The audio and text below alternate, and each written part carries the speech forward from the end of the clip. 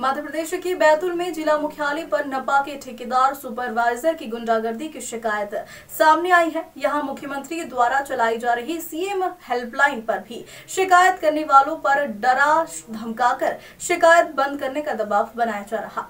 बता दें, स्वच्छ भारत अभियान में नगर को साफ़ सफ़ाई में अव्वल दर्जा हासिल कराने, नगर के जागरूक नागरिक भी नगर में फैली गंदगी को लेकर संवेदनशील है। नगर में फैला कूड़ा, करकट को समय रहते साफ़ करने के उद्देश्य से नगर के जागरूक नागरिक नगर पालिका में स्वच्छता, निरीक्षण या अन्य सफ़ाई कर्मियों को फ़ोन लगाकर सूचित करते हैं और इसके पीछे उनका उद्देश्य सिर्फ़ अपने नगर को स्वच्छ बनाए रखना और स्वच्छता में बैतुल को अव्वल रैंक दिलाना है। परंतु जब बार बार सूचना देने के बाद भी सफ़ाई कर्मी ना तो फिर नगर के नागरिक सीएम हेल्पलाइन नंबर पर इस संबंध में जानकारी देते हैं।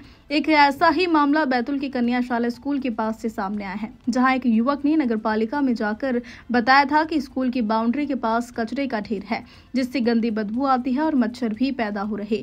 सूचना देने के बाद भी टीम नहीं आई, तब युवक ने सीएम हेल्पलाइन पर इस संबंध में शिकायत की, जिसके बाद भोपाल के ठेकेदार का सुपरवाइजर नरेंद्र ने आकर उन्हें डराया, धमकाया और जिस नंबर से शिकायत की थी, उस युवक से मोबाइल छुड़ाकर तानाशाही रवैया अपनाते हुए गाली गलोच करने लगा। और कहा कि दोबारा शिकायत की तो तेरी खैर नहीं।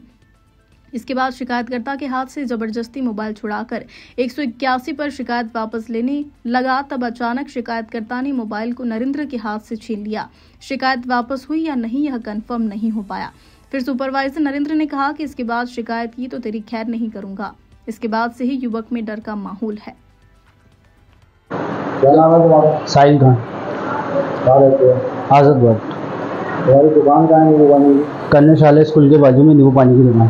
क्या वारदात हुई आज जो व्यक्ति करा गाली दी। जो कचरा निकलता था मतलब रोड पे झाड़ नींबू पानी की दुकान के पास अपना झाड़ एक झाड़ का कचरा गिरता था।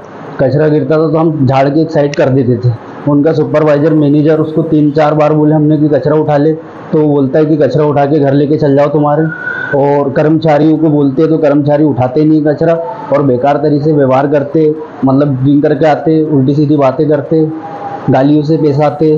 उस दौरान मतलब मैंने फिर सोचा तो मैंने हेल्पलाइन पे फ़ोन किया। हेल्पलाइन पे फ़ोन करने के बाद एक सौ इक्यासी पे मैंने फ़ोन किया। मैंने उनको समस्या बताया कि ऐसी ऐसी प्रॉब्लम चल रही है हमारी दुकान के पास में। तो उनने हमसे बोला कि बोले, जो आपका कचरा निकलता है, उसका क्या करते तो हमने बोले कि डस्टबिन में घर पे ले जाके डाल देते हैं। हमारा कचरा हम साथ ले जाते जो झाड़ का कचरा गिरता है, रोड का कचरा गिरता है, वो जमा करके रखते, कर्मचारी नहीं उठाते। गलत तरीके से बात करते ये मैडम को मैंने बताया।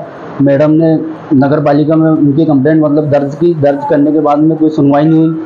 फिर दो तीन बार कॉल आया मेरे पास। कॉल आने के बाद में मैडम बोलती कि उठ जाएगा उठ जाएगा, अभी तक के कचरा नहीं उठा। आज पंद्रह दिन हो गए, कचरा नहीं उठा। उस बीच फिर आज नरेंद्र जो है मतलब सुपरवाइज़र वो अचानक मेरी दुकान पे आया और व्यवहार तरीके से, गलत तरीके से बात करने लगा। मतलब मोबाइल मेरे हाथ से छीन लिया और खुद हेल्पलाइन पे फ़ोन करके बोलता है कि कंप्लेंट वापस ले लो। आपका मतलब जो शिकायत दर्ज करी थी, उसका समाधान हो गया है तो कंप्लेंट वापस ले लो। खुद ने कंप्लेंट कंप्लेंट कटवा दिया उस बाद मैंने फिर उसको बोला कि भैया, अरे रुको, थोड़ा बात करके जाना। तो गाली उसे पैसा आने लगा, फिर अचानक गाड़ी चालू करा और चले गए। और दुकान उठाने की बात कर रहा था कि अतिक्रमण लाऊँगा दुकान फेंकवा दूँगा सब और यहाँ पे कुछ भी नहीं रहने दूँगा। बहुत बुरी तरीके से बात कर रहा था। क्या चाहते हो उसको कड़ी से कड़ी कार्रवाई की जाए। ड्यूटी से उसको सस्पेंड किया जाए क्योंकि जिस तरीके से बात कर रहा था वो गलत तरीका था उसका। मतलब गालियों से पेश आ रहा था। सरकारी आदमी अगर ऐसे गालियों से पेश आएगा तो मतलब ही क्या है फिर। कार्रवाई नहीं तो क्या करोगे? कार्रवाई नहीं हुई तो फिर हेल्पलाइन में फ़ोन करके हम बताएँगे कि मतलब इनने खुद अपने हाथ से मोबाइल लेके और मेरे फ़ोन से फ़ोन करके बोला है कि समाधान हो गया है। जबकि समाधान हुआ नहीं अभी तक के कचरा जैसा का वैसे पड़ा हुआ है। उसको सुबह भी मैंने पोस्ट बताया तो उनने पोस्ट देखा, उसके बाद भी मुझे इग्नोर करते हुए उनने हेल्पलाइन पे फ़ोन किया और बोला कि समाधान हो गया है। एफ़ आई आर हुई, जो मतलब शिकायत दर्ज करे थे, उसको काट दो।